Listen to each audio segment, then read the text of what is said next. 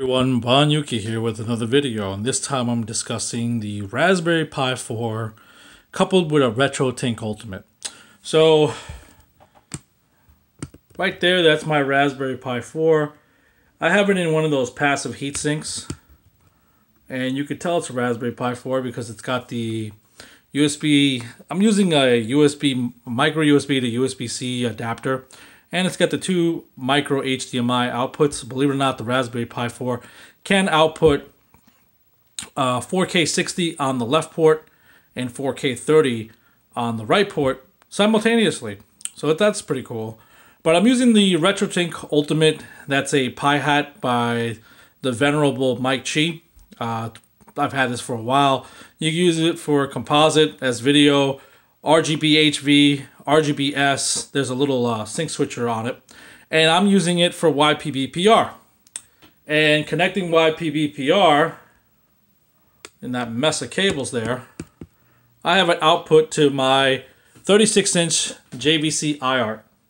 And it's pretty simple to do. Um, it's a little more convoluted than what it used to be on the Pi 2 and the Pi 3 because of the Raspberry Pi 4 handles the DPI overlay a little differently. Um, it's just one different command. For some reason, they it's it's just doesn't work if you do it the normal way. But they do have a workaround. That's just one different command, and all of a sudden, it works. Uh, the reason I'm making this video is a lot of people don't believe this works.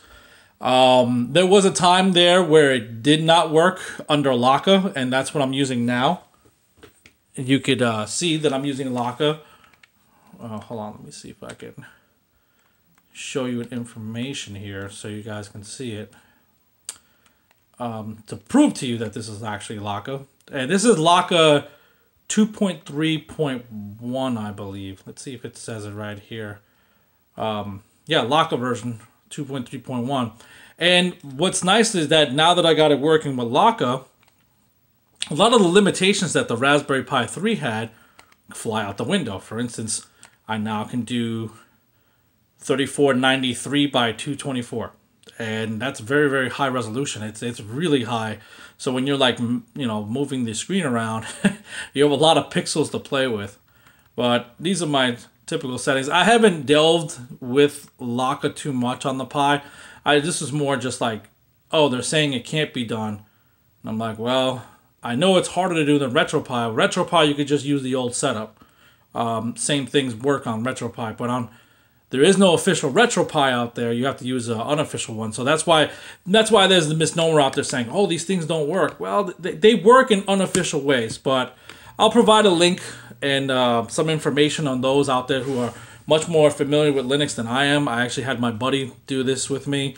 He's a Linux guru and he looked at the problem and he saw the workaround. He was like, "Yeah, let's implement that. Let's see if it works."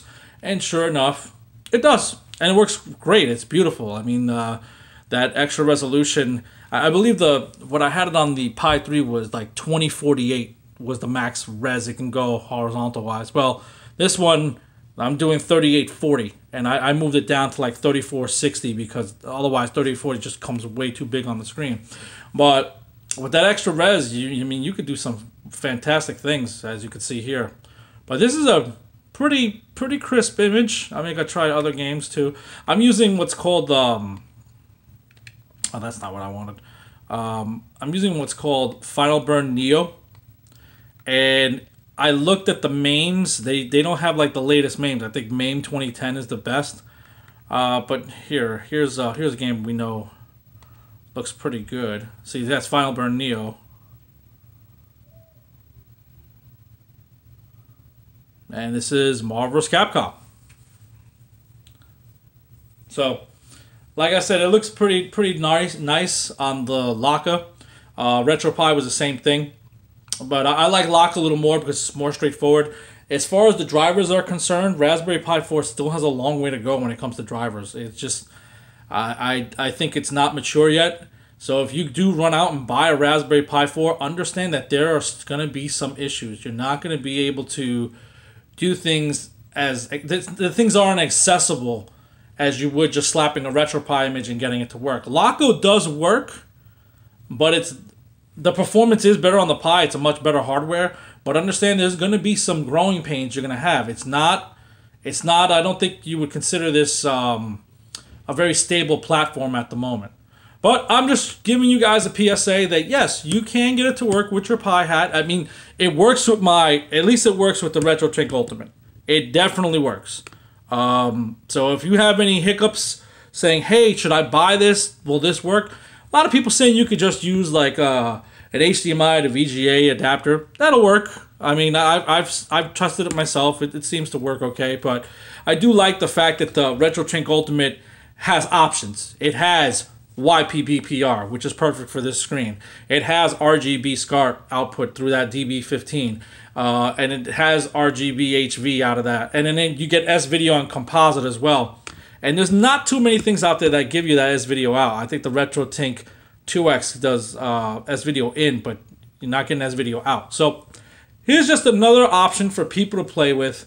And you gotta get, get these RetroTink Ultimates before they go. Um, Mike Chi says he's not supporting them anymore. The, the, the, now you have adapters that are lag free, and it's probably an easier solution to set up. But for those that do have it, and they're like, hey, what do I do with this hardware? Our Raspberry Pi 4 doesn't work with it. Well, here's good proof that it is.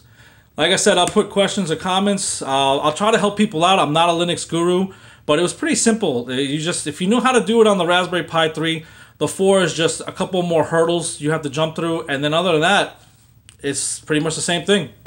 Anyway, have yourself a good one.